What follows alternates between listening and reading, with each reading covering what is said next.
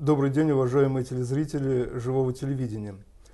Э, сегодня э, я вас приветствую вновь в программе «Букинг». Я ведущий в студии Юрий Проскуряков.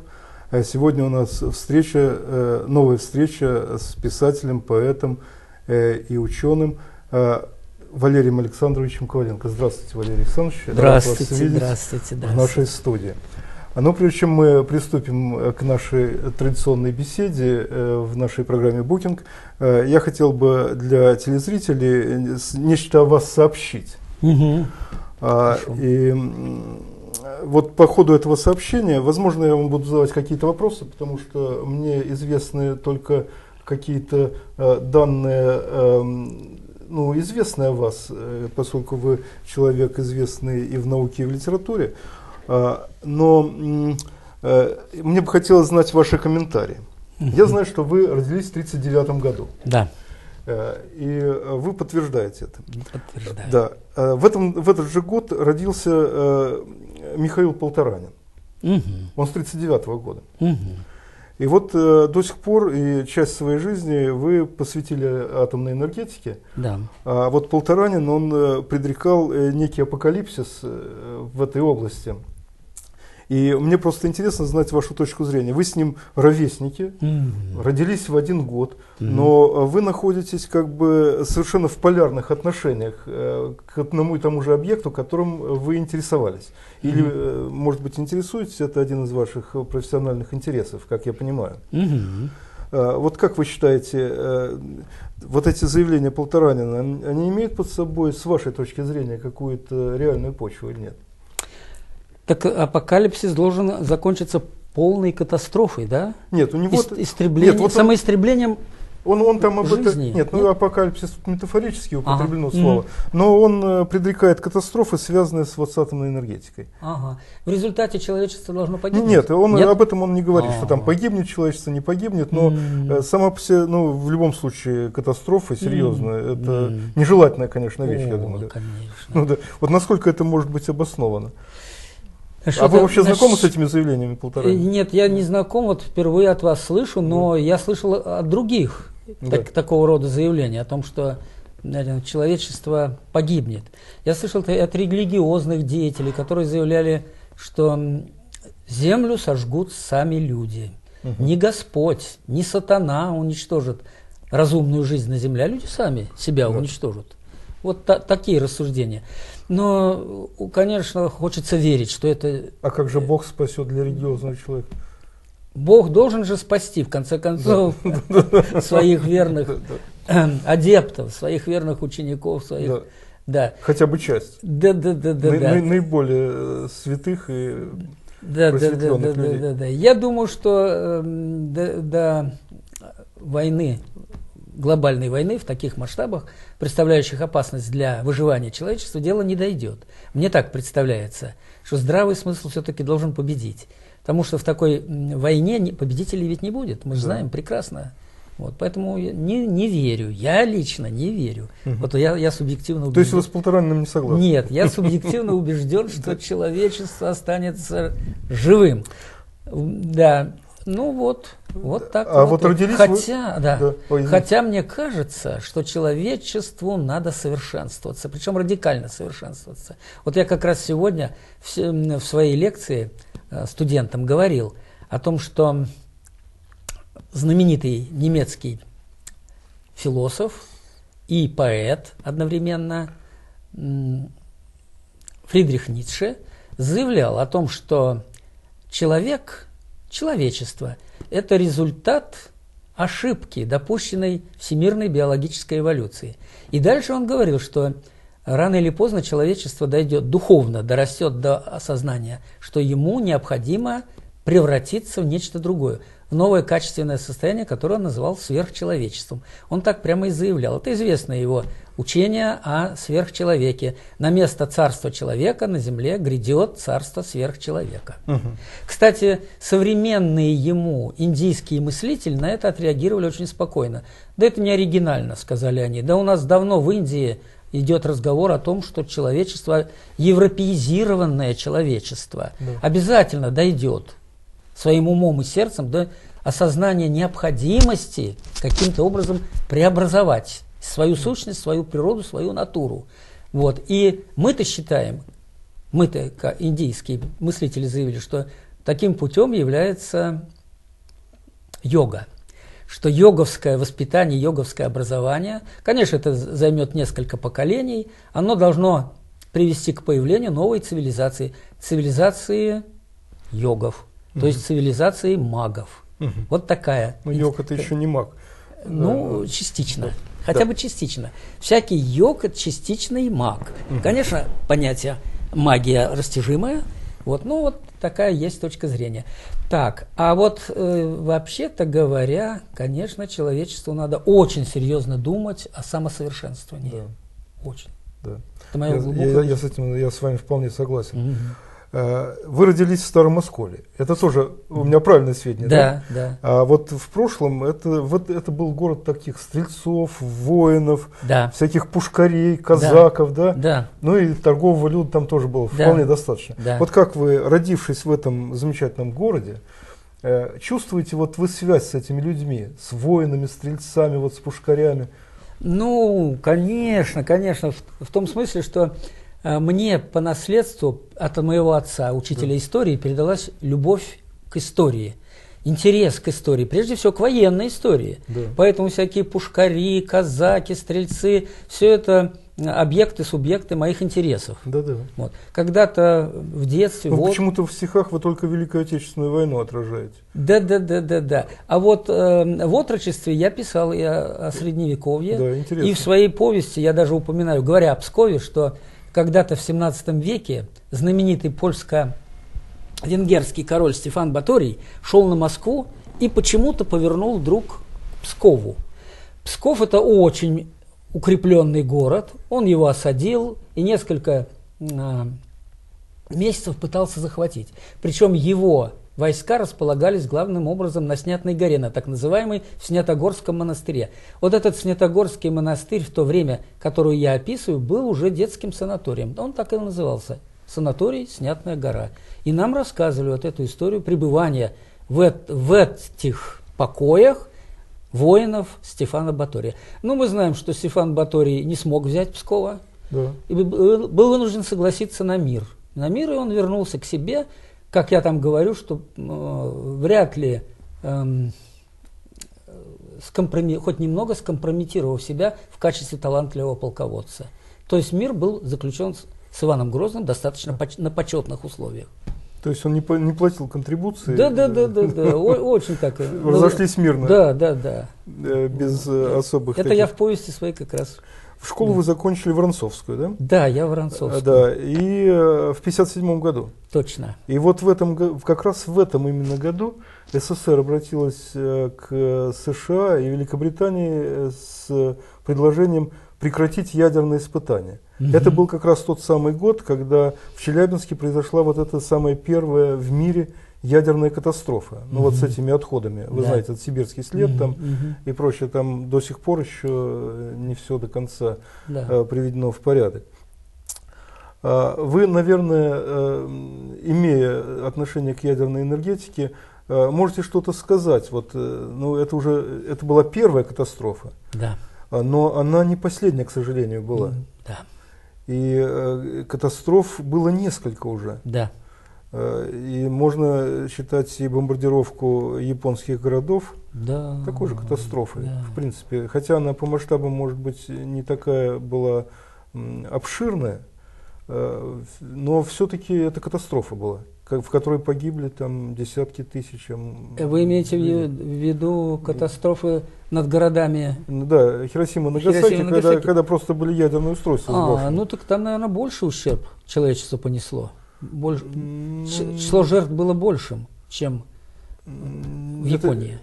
Где у нас? Да, у нас меньшие были. У нас, я думаю, что у нас в этом в Челябинской больше были потери, хотя они до сих пор не исследованный вопрос. Да, вы так считаете? Я не знаю. Ну тогда же, я не знаю. Тогда вообще об этом существует какая-то литература, ее угу. сейчас его достаточно много, но на самом деле вопрос не исследованный до сих пор. Сколько Мгм. людей болело там, ну до сих пор э, последствия не устранены до конца. Мгм. А, хотя э, вот эти установки, они же до сих пор в рабочем состоянии. Возможно, будут востребованы в Мгм. связи с э, планами полетов на Марс. Мгм. И, и, э, вот эти вот двигатели, которые Мгм. разрабатывались в то время, они, вероятно, будут и у нас будут, э, э, Россия будет участвовать Мгм. э, в этих проектах со своей стороны, поэтому э, установки будут востребованы. Но э, сами катастрофы, которые сопровождают вот такие грандиозные, в принципе, и э, многолетние, это же уже пол, там, 57 год, да? Да. Это, считайте, полвека прошло, да? Почти. Сли- слишком даже. Да, да, да, даже слишком. Даже правильно. слишком полвека Да. прошло, и, и до сих пор есть последствия, но и одновременно востребованность существует. Э, Да, Для все-таки проект полета на Да. Марс это грандиозный проект. да. да В 2020 да, да, году, да, по-моему, да. американцы собираются запустить туда людей.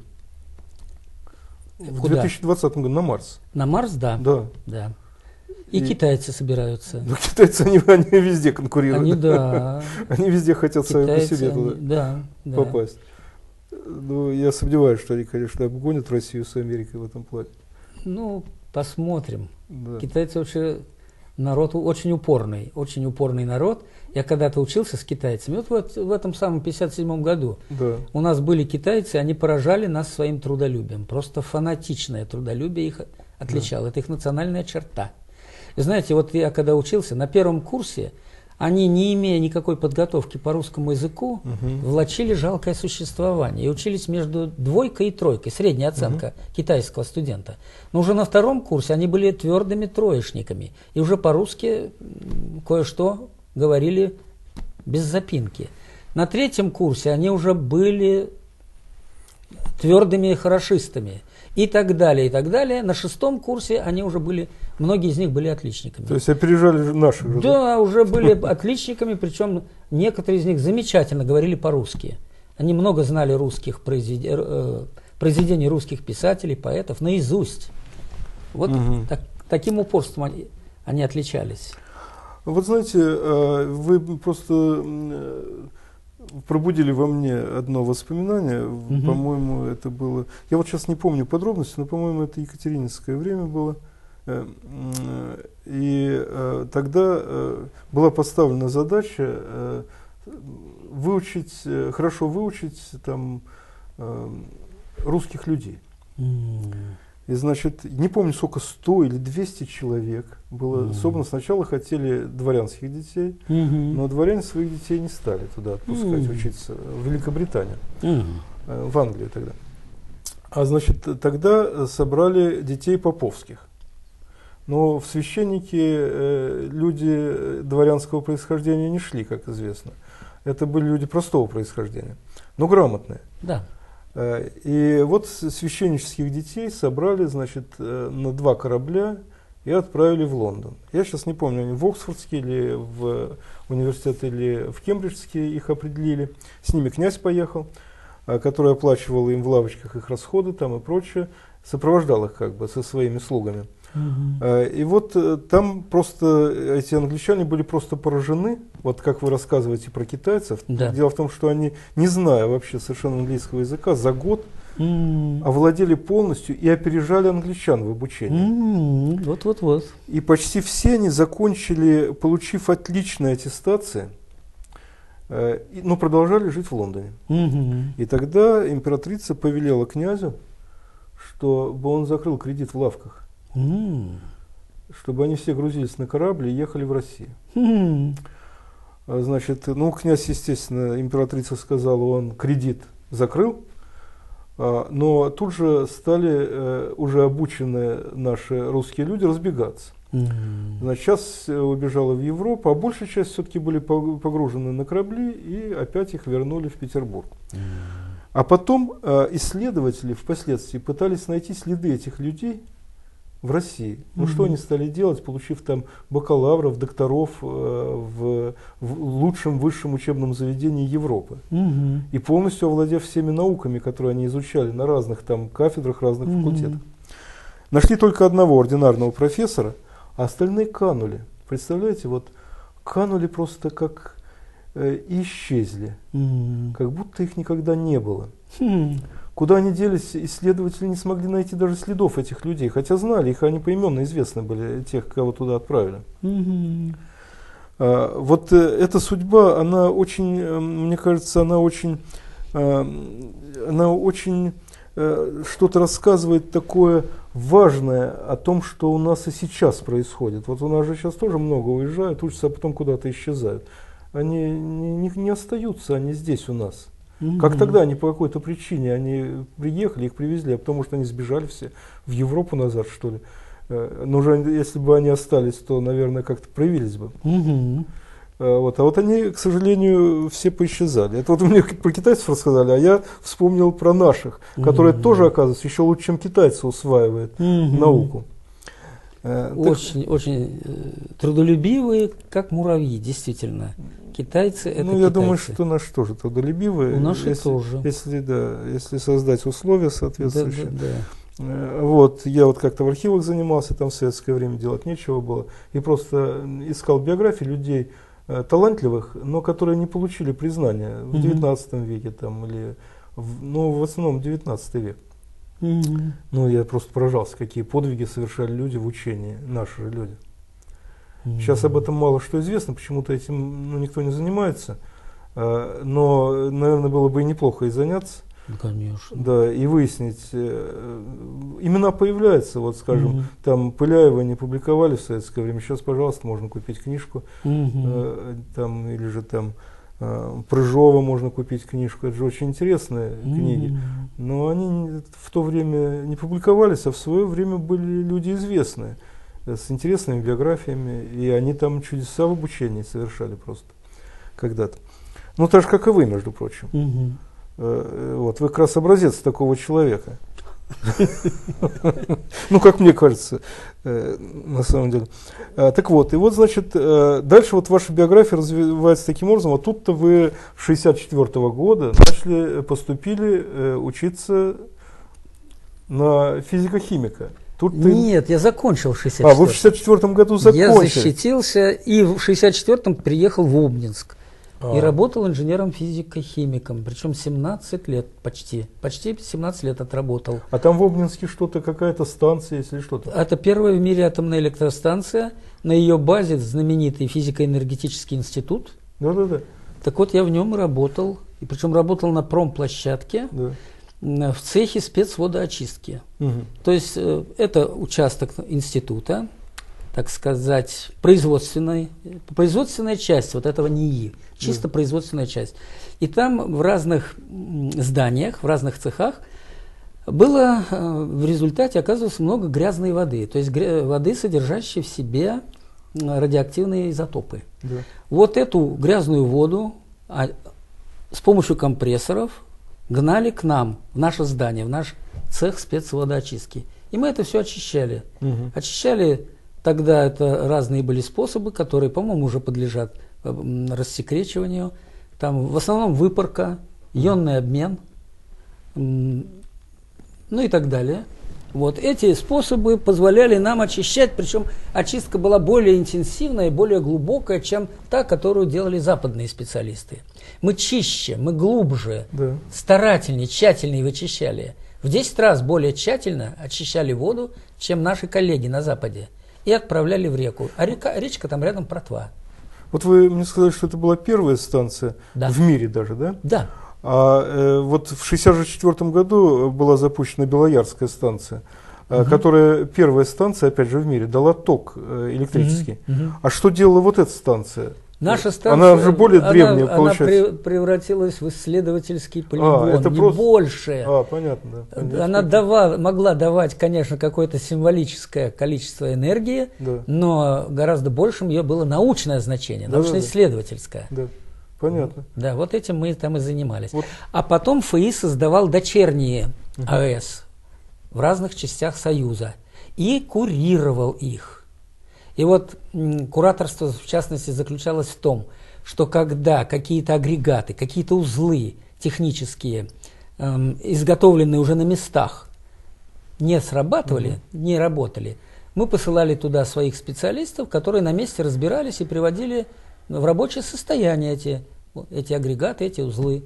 Я сам ездил два раза в Шевченко. В Шевченко была, вы знаете, Да.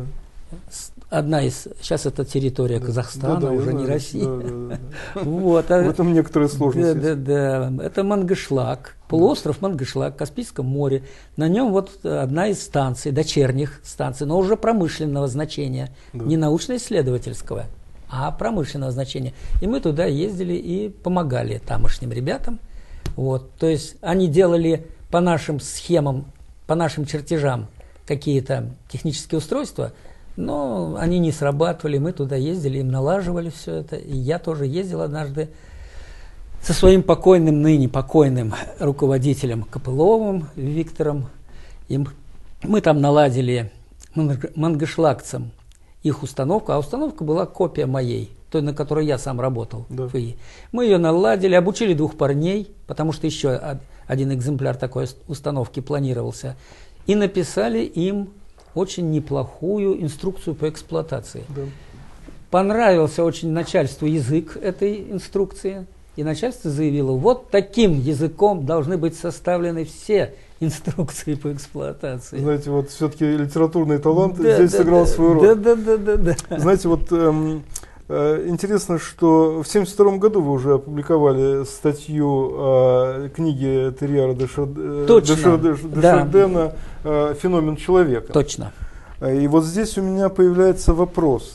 Это как-то в какой-то степени, видимо, определило вашу дальнейшую карьеру Мгм. э, в философском плане и в культурологическом плане.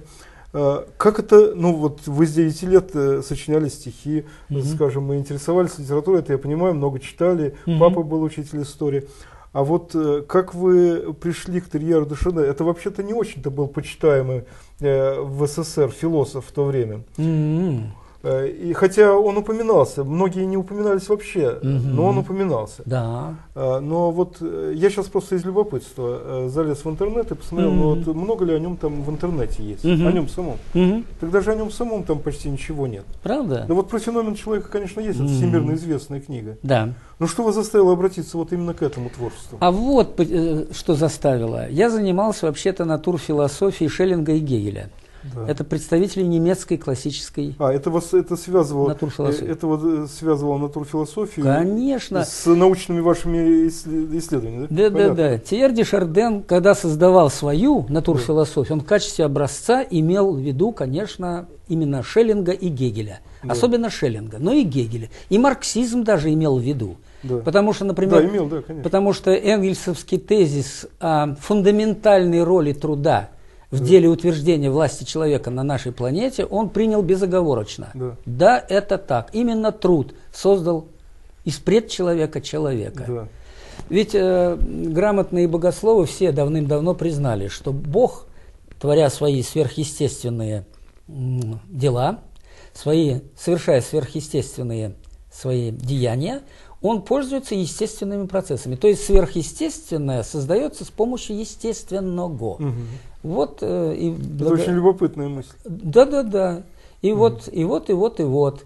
Поэтому э, Тиер де Шарден, он же ученый, вы знаете, что он ученый Да, палеантрополог. конечно. Да, В конечно. 27 году он оказался одним из соавторов открытия синантропа. Да. Синантроп. По-моему, он это чуть, ч- не, чуть ли не он сам открыл Синантропа. Так он одни, один из открывателей. В- Открытие произ- было произведено в разных частях земного шара. Да. Почему назвали э, синантроп? Переводе означает китайский Да, человек. да, потому да. что именно в Ки- на территории да, да, да. Китая синантроп был открыт. Да, а фактически, да, фактически э, синантропы были найдены во всех частях земного шара Ну да, потом. Конечно. Так что Китай, китайцам, к современным, синантроп не имел, ну, имел такое же отношение, как и к американцам, как и к русским, ко всем, ко всем, ко всем Ну да, да. этносам. Ну, может быть, он и не имел отношения к этим этносам э, вообще никаким. Эм, Ну, как вам это, сказать? это переходная форма не Это найдена одна из ступеней развития Ну, ведь сам, Дар- предчеловека. сам Дарвин когда-то, Мгм. э, вот эта вот доктрина э, Дарвина Уоллеса, Мгм. э, он, Дарвин признал, всю жизнь занимаясь, э, вот признал, что Уоллес э, первооткрыватель. А, но э, она страдала одним, эм, одним недостатком. Дарвин, э, Дарвину это пришло в голову на Галапагосских островах. Там очень большое разнообразие всяких реликтовых видов. А, И вот это его нав- навело на мысль о том, что вот виды каким-то образом преобразуются, развиваясь. Э, И вот этот путь, который э, привиделся тогда Дарвину, он сам находил в нем очень серьезный недостаток. Один. Мгм. То, что нигде не было найдено переходных форм. Да. И это до сих пор остается открытым. Да, вопрос. Тияр де Шарден это объяснял вот чем. Он говорил, что настоящее сотворение человека а, включало в себя и естественные процессы, и сверхъестественные. А, да, да. Естественные – это процесс эволюции, а сверхъестественное – это креация. Мгм. Знаете эти Да, оба ну, термина? понятно, да, конечно. так вот он и говорил, Творение. что там, где нет свя- связующих звеньев, да, Мгм. вот там совершался чудесный, и таким, пере- и чудесный таким образом, перескок. и таким образом, будучи религиозным философом, он оправдывал дарвинизм. Да, он оправдывал Да, дарвинизм, был одним из дарвинистов. Но дополнял. Значит, у, него, эволюция и креация взаимодополнительны. Да. Вот такая позиция. Э, Теперь бы я хотел э, вот с вами немного обсудить еще иной вопрос. Э, Вот в 80-м году вы статью написали о романе Анчарова «Самшитовый лес». Да. А, Но Анчарова Высоцкий считал своим учителем, Владимир Высоцкий, я имею Мгм, в виду, мгм. потому что Анчаров сам чуть ли не основоположник вот авторской песни. Мгм. А, и- Да, да, да, да. Бардовской. Да, бардовской, Мгм, да, мгм. бардовского движения вообще. Да. Так вот, э, меня это заинтересовало, ваша биография. Мгм. Дело в том, что э, я вообще мало видел партийных работников в советское время, которые бы не любили Высоцкого. Мгм. Как это ни странно, Мгм. кажется. Вот как будто бы, мало того, Высоцкий был воспринят самыми разными слоями общества. Мгм. э, И самыми разными тенденциями, вот, которые Мгм. сейчас как-то генерализуются, еще не, не генерализовавшись. Э, А тогда диссидентское движение это были все, и русские националисты, и, Мгм. и, скажем, западники, все были в одном котле. Мгм. Они все как бы не устраивали начальство. Да. И при этом Высоцкий был выразителем всего, его, его любили все, Все. включая это же партийное начальство. Да, да, да, да. вот да. как это неудивительно. Да. Э, И вот э, оказалось, что вы в своей жизни, Мгм. не, не только вот в биографии, которая э, так или иначе описана у вас, Мгм. вы коснулись этой страны. Что Мгм. вас в этом заинтересовало? Почему Анчаров? Вот, э, как это вдруг возникло? Вы, наверное, и Высоцкого любите? Очень даже, очень. Да. Высоцкий один из любимейших для меня поэтов и бардов. Да, Потому что я считаю, что он как бард. конечно. Ну, в общем, я на первом месте. Среди бардов в истории нашей бардовской музыки я Высоцкого ставлю на самое Ну, высшее, на самое Вы первое место. Вертинского не считаете к этому относиться? М, Да, даже он выше Вертинского, я считаю. Ну да. Высоцкий выше, я Ну, считаю. Вертинский раньше намного. Хотя да, Да. Вертинский, Да. ну, душевно, ну, то все, да, конечно, ну, тут такая энергетика Мгм. у Высоцкого. Да, А как он писал про ученых, да? Да, да. А про спортсменов, у него охват Ну, про военных. Про, про военных, Да. потрясающий. А героические его песни. А по- про простых мужиков. Да, про, про- нет, конечно, потрясающий поэт, потрясающий. Вот у меня есть несколько всего стихов о Великой Отечественной войне, но вот самые лучшие из них, которые часто э, публи- перепечатывают меня, Да. все они вообще-то вдохновлены именно Высоцким. Высоцким. Да. Что вы говорите? Да. Да, интересно. Ага. А, Вы знаете, вот э, я, э, немножко оторвавшись от вашей сейчас биографии, я обратил Ага. внимание. А Вот вы в одной из статей, а вы сотрудничаете с э, такими, что ли, национально, нап- русско-национально направленными изданиями. А Вы в одной из статей, э, где вас э, опрашивает э, корреспондент по поводу поэзии, Мгм. Вы излагаете довольно подробную такую таксономию, чем поэзия является, чем не Мгм. является. Мгм. Э, И там э, вот, э, ну, много параметров справедливых для литературоведческой и научной статьи, но для газеты, по-моему, э, это не вполне был подходящий материал, потому что читатель газеты, он не обладает этим инструментарием. Мгм. Он просто, ну, может быть, будет из любопытства читать, э, Мгм. но вряд ли это у него задержится сильно в голове. А, Ну вот вы там э, выводите э, некие, некие параметры, которые эм, вот в одном из э, того, что вы считаете главным, э, вы, значит, утверждаете, что вот есть некий эстетический критерий, некое эстетическое намерение, которое, несомненно, присутствует в поэзии и вообще в литературе, mm-hmm. и вообще в творчестве. Но еще вот вы вводите э, там морально-нравственные и еще духовные, религиозные mm-hmm. параметры. Мне не кажется это верным утверждением, потому mm-hmm. что а, тогда упускается специфика э, литературного творчества. Дело в том, что э, для духовно-нравственного и для этического существуют другие отрасли литературы же, угу. но не художественной литературы. Да, а да. какая? А, ну, есть духовная литература, в конце А-а-а. концов, да, и есть литература философская, этическая, угу. и такой литературы достаточно много. Угу. И я очень интересуюсь, в особенности этической литературы, да и духовной то же угу. самое. Угу. Но я считаю, что это отдельные области, угу. и их не надо смешивать, потому что все-таки в самой художественной литературе, там все-таки вот эстетическое намерение автора, угу. это самое главное. Согласен. Да, вы согласны, согласен, с этим, да? Э, и вот поэтому у меня возник вопрос э, в связи вот с тем, что вы сказали о Высоцком. Дело в том, что у Высоцкого очень много прекрасных метафор. Угу. Отражается небо в лесу, как в воде, и деревья стоят голубые. Да. Например. Ну, угу. этого много там у него. Угу. Это говорит о его э, поэтическом даровании. Угу. Но э, когда мы сталкиваемся с поэзией, угу.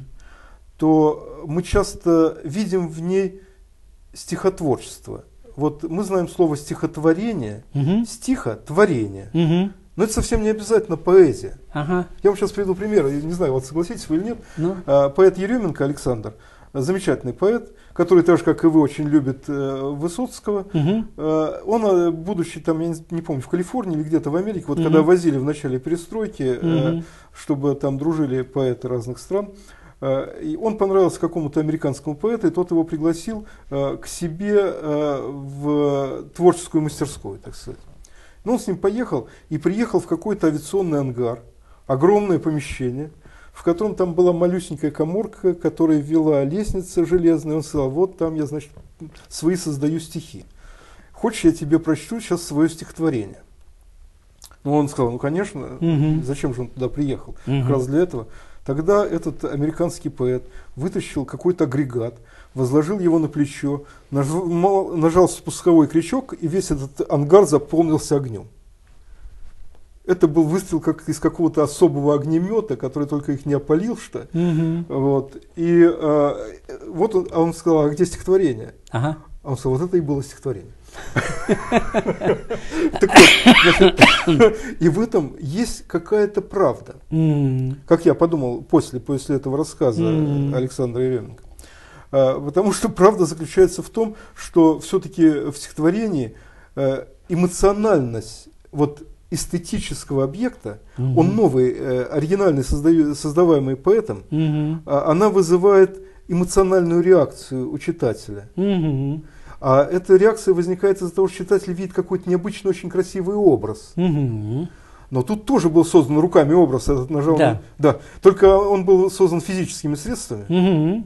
Но э, поэзия э, в, в душе вот этого американского героя, поэта огнемета, mm-hmm. она тоже существовала, потому что Еременко явно испытал эмоцию, mm-hmm. ему этот случай запомнился на всю жизнь. Mm-hmm. Вот такое стихотворение тот прочел.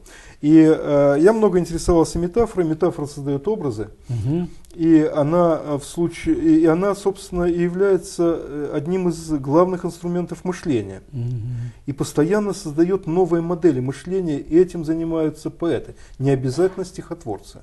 Да. Вот сейчас существует э, в Европе, в Европе существует 16 видов э, стихотворчества, назовем так, угу. которые, ну, например, саунд-поэзия, там, визуальная поэзия, разные виды авангарда, много, угу. 16 или 18, сейчас не помню. Угу. Они не все представлены в России, но некоторые уже представлены. Угу. Но это нельзя назвать поэзией в прямом смысле. Ну, например, вот социальные акты. Угу. Э, вот, который демонстрировал нам э, называющий себя поэтом Пригов. Угу. но все-таки это не поэзия, это стихотворчество. Да? Mm-hmm. Другими средствами создается нечто, что может, написано словами, там, mm-hmm. так, да? вот, этому придана форма такая. А вас я воспринимаю как э, поэта традиционного. Да. Но у вас очень мало метафор. А, несмотря на то, что вот вы даже получили приз на Есенинском конкурсе, выиграли, да? Как поэт нет, же? Нет, нет, нет, нет. Или медаль? Это я выиграл а, вы... А, медаль? Да, да, да. Пушкинская медаль? Не Пушкинскую или Есенинскую, я сейчас не помню, но у вас есть, вы дипломат какого-то из конкурса Может быть, может быть. Вы уж не помните. Я уже не помню. Вот, у меня, у меня две медали, Пушкинская медаль и потом медаль, которая... Мне Толстовскую предлагали медаль. Предлагали? Предлагали. А я говорю, да нет, вы что, я не тяну на, на Льва Николаевича, да вы что? Не пишу на его уровне. А мне говорят, да брось, пишешь. Да, да нет, нет, нет, нет, нет. Ну тогда давай заменим тебе на медаль. А название ее примерно такое. За вклад в искусство и в культуру. Да. Вот примерно Нет, ну, так... это сто процентов соответствует тому, что вы делаете. Ну, на, может ну, да, быть, конечно. вот. Но вместо Льва Толстого. Потому что Лев Толстой, я думаю, ну что такое? Это же Эльбрус. Ну да. Это же вообще, ну как я Во многих отношениях, кстати, и в этическом тоже отношении. Да, да, да, да, да. И вот я... Он не только великий писатель был, но он этик великий был. Да, да, да, да, да. да, да. И он создал какую-то особую возвышенную мораль, которая, mm-hmm. вот это его влияние на мораль еще недостаточно изучено и даже недостаточно внедрено в сознание, mm-hmm. Mm-hmm. В сознание русских людей. Mm-hmm. Это же большое, большой материк русской культуры, mm-hmm. который, мне кажется, ну очень мало освоен. Вот насчет нравственного, да, действительно, инструментария. Я вот сейчас хочу заняться одним вопросом. Знаете, каким? Вот мы все-таки хотим создать эм, глобальную политическую систему, да? Об, общепланетарную. Это И кто, вот у, у, на, у наших союзников, у американцев не все получается. То и дело натыкается на сопротивление, приходится силу применять. А с другой стороны, есть исторический опыт. Это греки, 8 примерно 2 века до нашей эры. Они мирно, без единого выстрела, без единого акта насилия, без единой капли пролитой человеческой крови колонизовали громадную территорию. Вы же это знаете из да, истории, знаю, помните? Вот как им это удалось? Нет, видите ли, тогда, ага. тогда существовал такой э, персонаж вот в это время, ага. который назывался Простат. Ага. Простат был посредник – угу. между э, негражданином, ну, угу. наш гастарбайтер, угу. но это не гражданин, мог быть и богатый и прочее, но у него не было прав, которые угу. были у граждан греческих. Угу. Так вот, Простат, будучи греческим гражданином, был посредником между вот этими людьми угу. и гражданами. Но когда у нас гражданами того же этноса, того же самого этноса. Нет, греческого этноса. Гражданами, а, с гражданами вот пришлые, греческого. Да, при, пришлые не были гражданами. Mm. И, и существовала, существовала специальная категория общественная, которая служила таким интерфейсом, посредником, трикстером между гражданами угу. и негражданами. Угу. А жили они на одной территории, фактически занимаясь одними и теми же делами, могли быть одинаково богаты, угу. или даже не граждане могли быть более богаты. Но их представительствовал простат угу. перед гражданами. Угу. Тот не мог говорить сам напрямую. Угу. Но существовал целый класс людей, которые занимались специально этим делом. Так класс этот существовал в самой лишь Греции? В самой Греции. А как же в Айкумене? Как, ну, как нет, Айкумену построили? Они, они везде, вот они, вопрос. Вот при помощи вот этой системы. Ну вот смотрите, вот существует Греция. Да. Представляете карту Европы, ну, да, и вот да, Греция. Да. Вот, и вдруг ни с того ни с сего отправляются молодые греки э, за синие моря, да. приплывают в Италию, во Францию, которая Галлией, допустим, называется, да. в Испанию, там, и так далее, и так далее. Ведь все при Средиземноморье было эллинизировано. Да, конечно. И везде становятся коренными жителями. Да. То есть они натурализируются на этих территориях. Они их не захватывают. Нет. Это... Они там оседают, и местное население все превращают в греков. Есть... По крайней мере, верхушку. Верхушку местных этносов превращают в греков. Если бы не было простатов, которые служили интерфейсом, греки бы не знали, как это сделать. Они на своей территории освоили это все. Да? Ну, конечно. Э, это же была практика. Угу. Но вот все равно, как э, в царской России, которую сейчас незаслуженно идеализируют, во Мгм. многом. Да. Потому что последующие события во многом предопределены тем, что тогда происходило. Мгм. Так вот, ну, вот было много и полезного, то, что Мгм. тоже э, каким-то образом утрачено оказалось впоследствии, и до сих пор к этому еще не вернулись. Мгм. Но тогда э, национальная политика была совершенно другого рода, и чиновники, э, которые назначались, ну вот, например, Соблуков, учитель Чернышевского, Мгм. э, он прекрасно э, знал многие языки, он знал, например, башкирский язык. Мгм. Это хорошо. Да. Здорово. И вот чиновник назначался э, такой, а, а когда Соблуков умер в Казани, Мгм. Мгм. его хоронил одновременно мула и русский священник Мгм. православный. Мгм. Это небывалое дело, понимаете? Мгм. Чтобы одновременно обряд похорон... Но это частный случай. Нет, нет, подождите, это не частный случай. Э, Он был переводчик Корана, да, и, Мгм. но чтобы иноверцы мусульмане хоронили по Мгм. своему обряду, одновременно совершая обряд, Мгм. это выдающийся случай. Это могло быть только в том случае, Мгм. когда чиновники, назначаемые, все говорили на языке народов, куда они назначались. Мгм. Поэтому не проводилась политика русификации. И это позволяло русской культуре развиваться с опережением. Хочешь учись, не хочешь как хочешь. Мгм. Чиновник говорит на твоем языке. Э, И э, понимаете, да? Да. Это принципиальная разница вообще. Вот это же самое выполнял простат. Он, вот этот чиновник, это был посредник, Мгм. который, э, ну это был на национальной почве. Мгм. И доходило до того, что даже религиозный вопрос был не важен, когда чиновник оказывался, а- оказывался приемлем, вот как Соблуков. Мгм. Ну а удавалась ли русификация в такой же степени, как у греков эллинизация?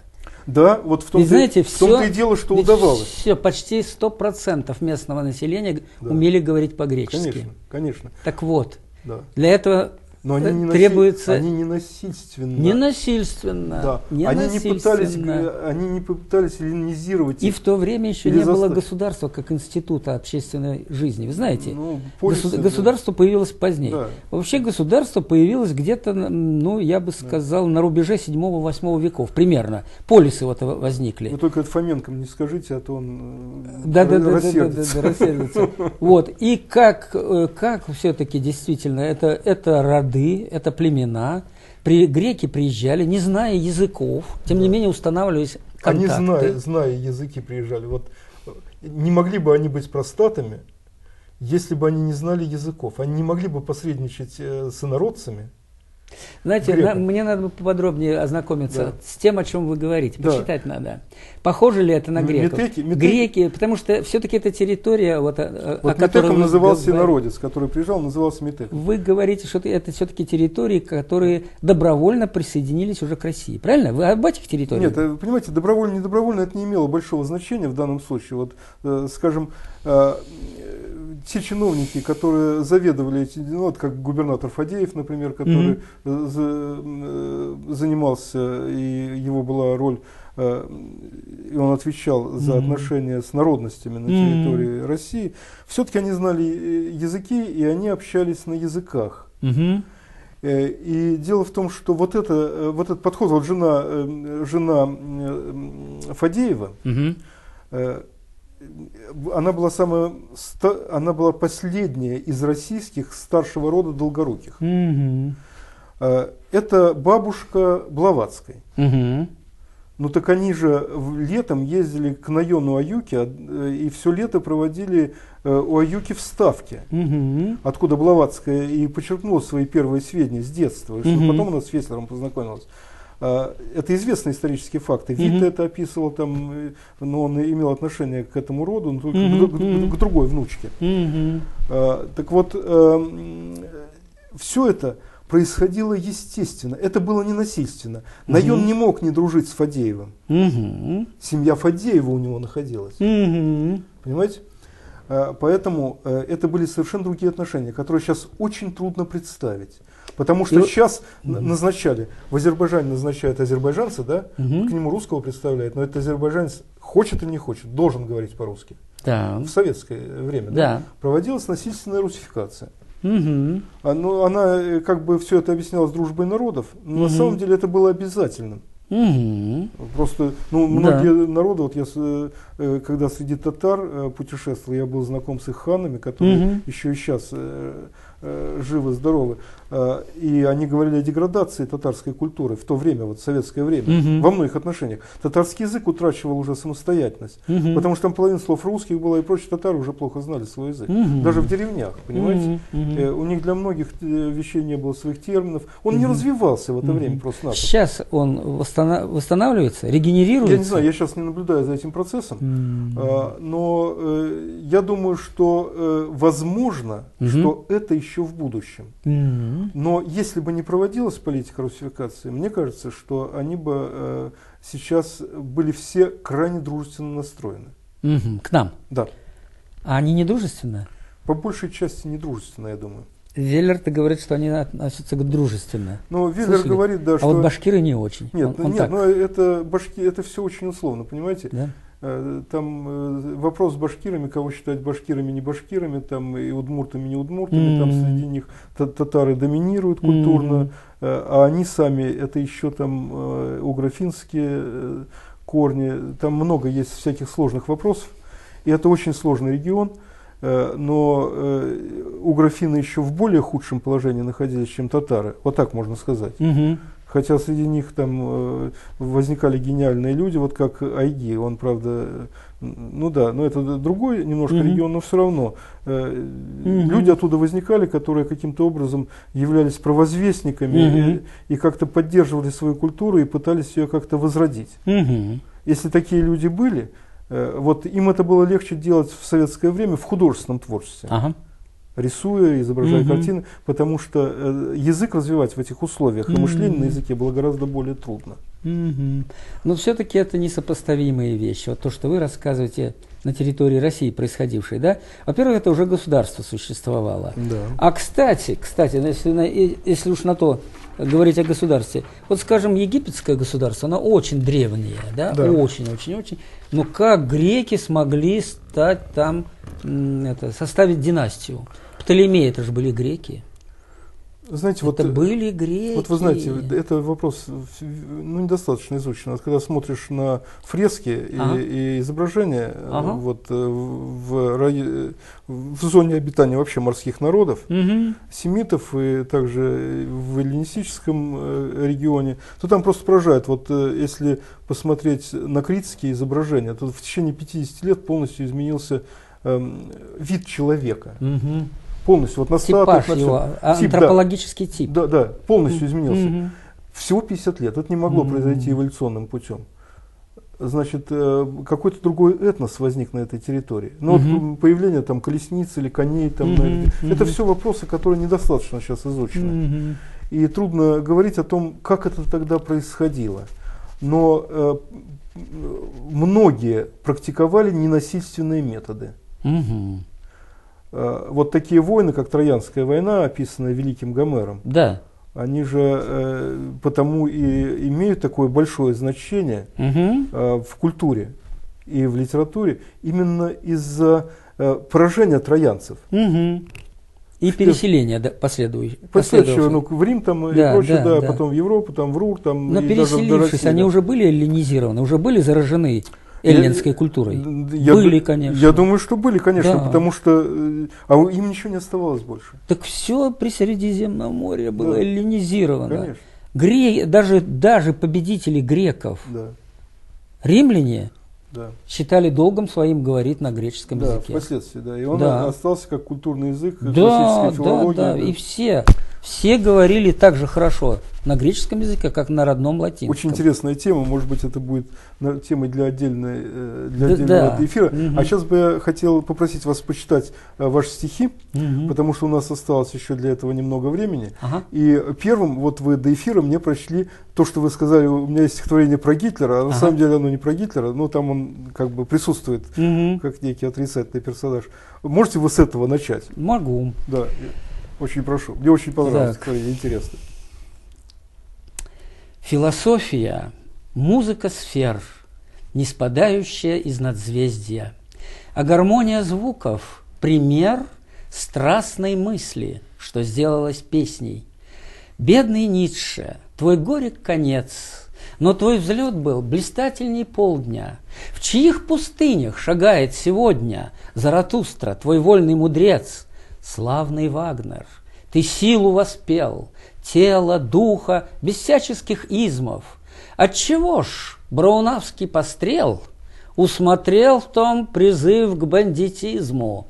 Быть ему бы ефрейтором век, но незрячий подхвачен судьбою, к нам в Россию ворвался с ордою, он в мечтах своих сверхчеловек. Фридрих, Рихард, на вас нет вины за безумие больного режима, что полвека назад с крутизны в бездну ринулся неудержимо. Так погиб он, а ваши дела на скрижалях культуры навечно отложились. Пусть жизнь скоротечна, дружба ваша в бессмертие вошла. Да, спасибо большое. Второй раз даже еще лучше оно в меня вошло. Да? Да. Ну, почитайте еще, что хотите. Про Ленина нет? Да, думаю, хочете, хочете... Рас, про Раскольникова? А Раскольников понравился, когда вы слышали его, да? Ну да, интересно, да. Интересно. Про Чевенгур у меня есть такое модернистское стихотворение. Модернистское? Ну давайте. Да, да. Модернистское интересно. А, значит, собственно, в этом стихотворении я не привожу почти никаких э, рома э, элементов романного содержания. От Платоновского, да? А, да.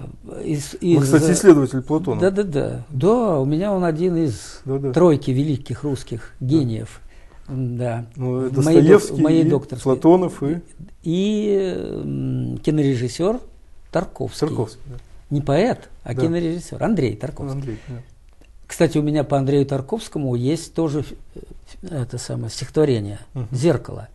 Самое трудное, оно никак не поддавалось герменевтической экспликации, как говорят философы.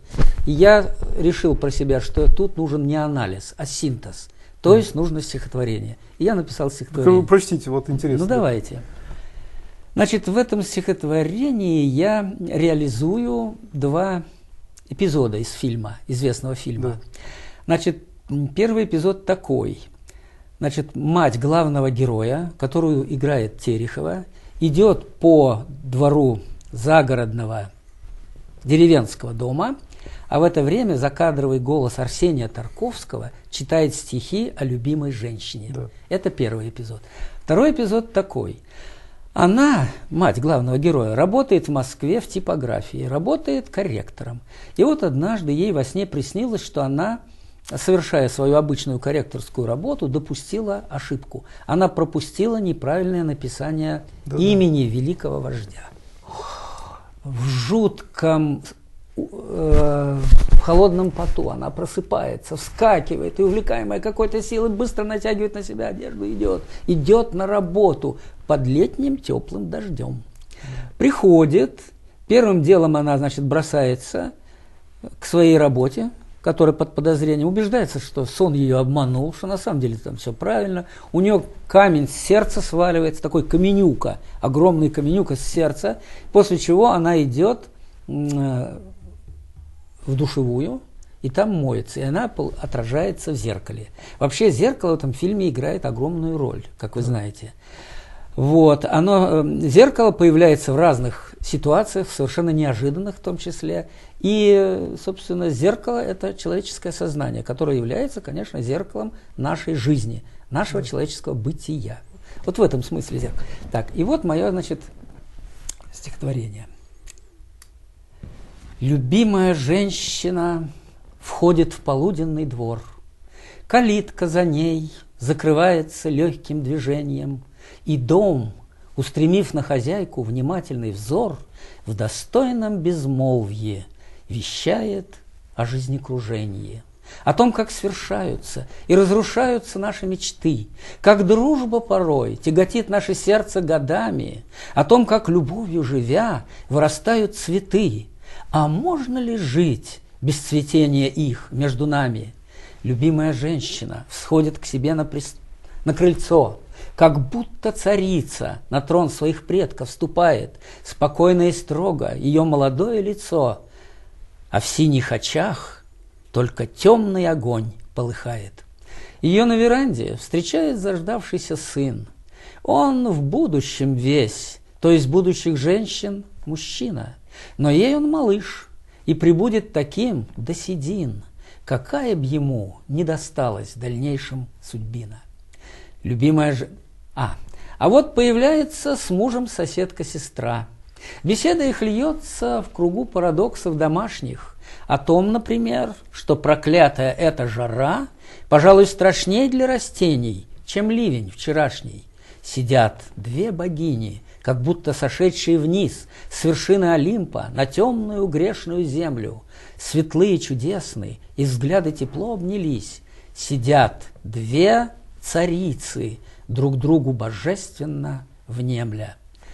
Любимая женщина, дверь открывает туда, где власть белизны, переполнившей ванную комнату, в отверстые краны струится и плещет вода, а царские ризы на стул не спадают, не скомканный. И в зеркале справа она отразилась сполна.